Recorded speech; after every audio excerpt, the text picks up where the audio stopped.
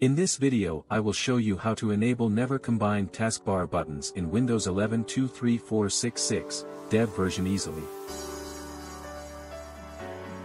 Download Vive tool and install in C Drive System 32 folder.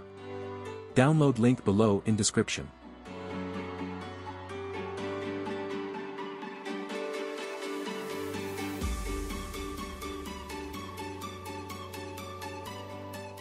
Type CMD and run as administrator.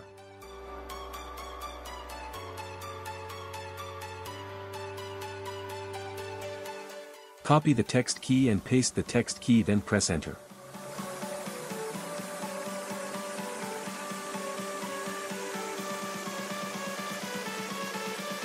See the features added successfully.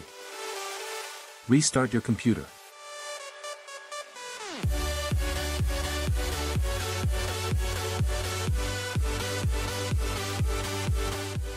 See new enable never combine taskbar buttons added successfully and working well.